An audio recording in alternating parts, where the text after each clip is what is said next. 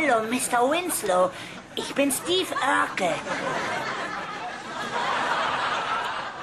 Ist Laura fertig? Können wir gehen? Ja, Steve, komm doch ruhig schon rein. Sie wird gleich unten sein. Ich muss ehrlich gestehen, Mr. Winslow, als mir Dad sagte, dass ich mit Laura ausgehe, habe ich mir fast die Hosen voll gemacht. Hier sind 5000 Ameisen drin, inklusive einer schwangeren Königin. Darf ich Ihnen die mal zeigen? Ja, wo ist sie denn? Wo ist denn Eure Majestät? Hallo, Eure Majestät! Sagen Sie, ist das eine Bartlett 111? Das ist tatsächlich eine. Woher kennst du sie? Genau so ein Ding haben die da unten in dem Donutladen, gleich um die Ecke. Wissen Sie, eine Maus ist da mal reingefallen, als die gerade einen Schub mit Gelee machten. Es ist ja ekelhaft. Eigentlich nicht. Jedenfalls hat sich kein Kunde beschwert. Na schön, ein Spiel. Aber wenn ich gewinne, gehst du nach Hause. Alles klar, also nie.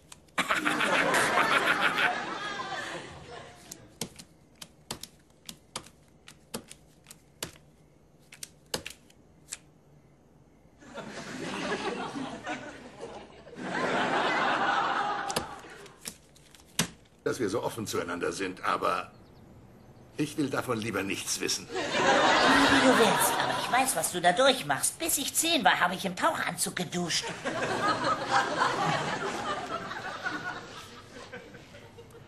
Mir ist klar, dass ich meine Frage bereuen werde, aber wie hast du denn deine Furcht vor der Nacktheit überwunden? Naja, in einer heißen Sommernacht sagte ich mir, genug ist genug.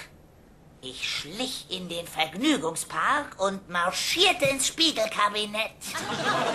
Da riss ich mir meine Klamotten vom Körper und zwang mich, mir mein Spiegelbild aus 150 verschiedenen Blickwinkeln zu betrachten. Oh, das war ein echter Albtraum. Aber es hat funktioniert. Wow, ich bin noch nie in irgendwas gut gewesen. Naja, ich kann zwar jeden Schlager auf meiner Achselhöhle spielen. Aber Sie wissen ja, wie unbeständig das Musikgeschäft ist. Miss Stuben! Da! Sie lebt! Sie ist aufgegangen! Was? Was ist denn das? Meine Erkhefe! Höchstwahrscheinlich ist der Pilz mutiert und nun wird sich die Masse alle paar Sekunden verdreifachen. Hoffen wir nur, dass sie nicht intelligent ist. Hallo, die Dame. Herzlich willkommen. Einen schönen Abend wünsche. Hey, hey, du! Ja? Was machst du denn hier? Tja, ähm, ähm, ähm, die Zeitarbeitsagentur schickt mich her. Was? Nein, nein, bitte erzähl mir nicht, du bist der neue Tänzer. Oh doch, das bin ich aber. Ich bin, äh, ich bin, äh, der Ersatz für, wie hieß der doch noch Wie der schnell? leidenschaftliche Klempner. Ja, genau. Ich bin Steve, der wollüstige Wissenschaftler. Das ist Morris Pulaski und sein polnisches Akkordeonorchester. Oh, ich muss sofort anhalten. Ich muss sofort anhalten.